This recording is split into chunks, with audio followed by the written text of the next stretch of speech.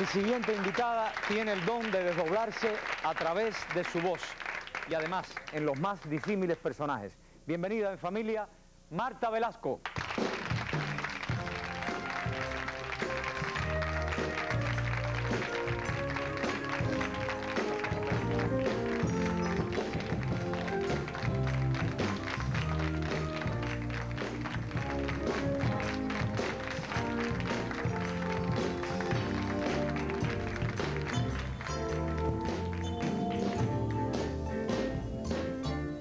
Muchísimas gracias por venir, Marta.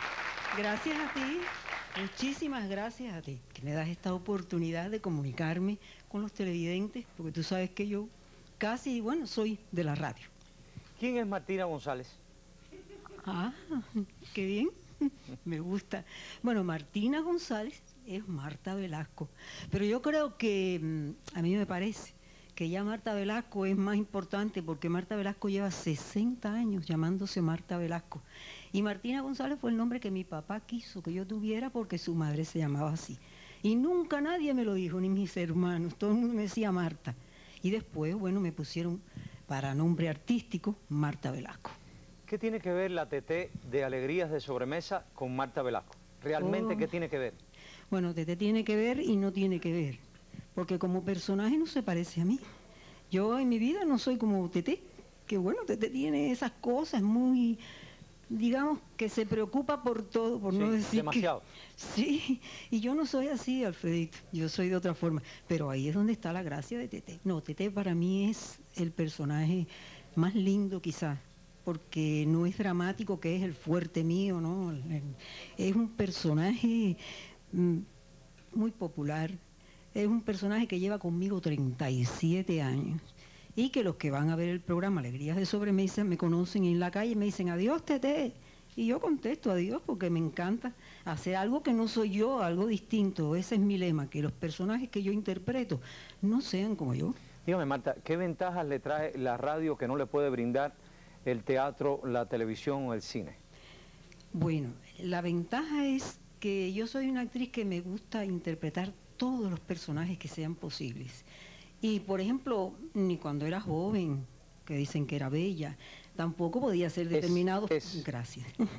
tampoco podía ser determinados personajes porque físicamente no daba, podía darlo por actuación, pero físicamente no. Entonces, bueno, en la radio sí, en la radio yo lo mismo hago a Bernarda Alba, que a Doña Bárbara, que a una niña de 17 años, que a un niñito, que a una abuelita. de- Ah, Ahí voy, ahí voy. ¿Qué sucede cuando usted eh, transita por personajes que van desde la niñez, la, mm, la juventud o, o la vejez? ¿Cómo es posible desdoblarse tanto? Ah, pues mira, es posible, porque además esto es una cuestión de imaginación también. La radio exige mucha imaginación, mucha sensibilidad, mucha entrega, porque el artista en la radio no tiene, no tiene lo que tenemos aquí, por ejemplo, ¿no? Que podemos caracterizarnos, que podemos tener mm, escenografía, cosas que nos ayudan. ¿Ves? Estas mismas mm, bellas flores que hay aquí, las- los girasoles, esos tan lindos. Sí. Bueno, eso no lo tengo yo en la radio. Lo que tengo es el micrófono, el efectista, el musicalizador, la directora o el director. Y eso, para tú llegar a poder interpretar esos personajes y que no sea, en mi caso, por ejemplo, que no sea Marta Velasco, que sea otro personaje, eso es mucha imaginación. Hay que, yo, di- yo digo que es hasta un esfuerzo físico muy grande. Hay un personaje que está haciendo que usted me, me comentó, que es un personaje que se llama Café con Leche. Ay, Cuénteme bueno, sobre eso. Tú tienes una memoria, yo, yo te comenté eso, pero yo creí que se te había olvidado. Bueno, mira, Café con Leche es un personaje de lo más interesante, porque Café con Leche es una señora, una prostituta, que tiene 77 años, que fue de la época aquella del barrio de San Isidro, porque ahora el barrio de San Isidro es un barrio maravilloso, donde hay una gente linda y todo, pero en aquel momento el barrio de San Isidro era una zona para prostitutas. Y esa señora ejercía allí su, su trabajo, pero después llegó a vieja, a viejísima. Y entonces ella vivía entre las jóvenes que ejercían ese oficio. Y era, acabó siendo muy simpática, muy graciosa, se reía de todo, lo mismo tarareaba un danzón, que, que cualquier cosa. Y es un personaje que me encanta. Pues lo vamos a disfrutar. Le agradezco en todo lo que vale que haya querido venir este pedacito de tarde conmigo. Muchísimas gracias, Alfredo. Muchísimas gracias, mi amor.